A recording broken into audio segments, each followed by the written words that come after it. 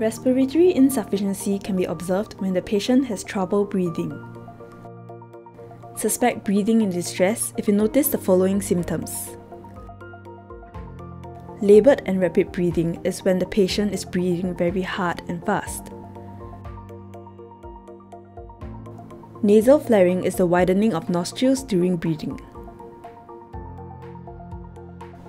Suprasternal retraction is when the soft tissues above the sternum sink in during each breath.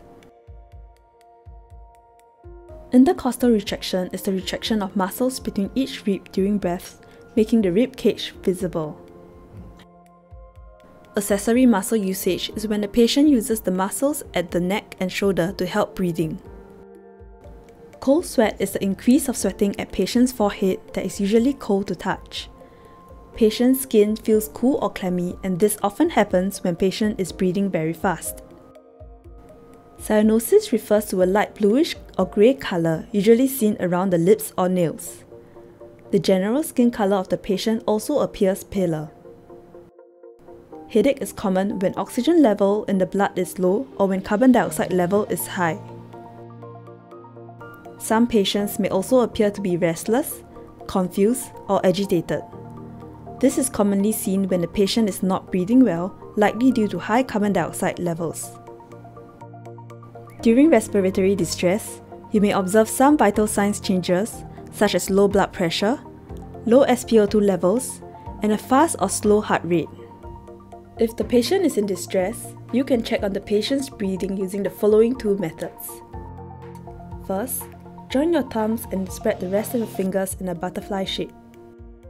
With little or no pressure, rest your hands gently on the patient's chest with your thumb at the center of the breastbone.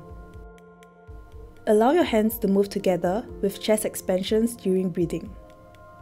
Observe the movements of your thumb. If the thumb movements are equal, both lungs are expanding equally.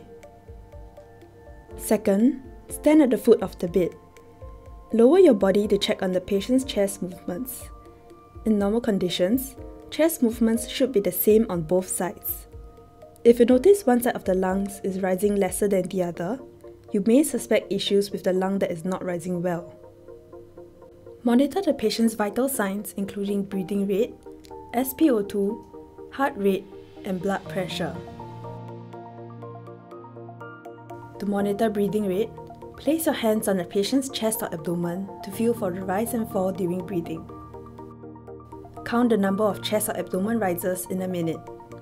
If you are using a ventilator, the machine will reflect the breathing rate on the screen. Remove secretions by using suction or cough assist machines.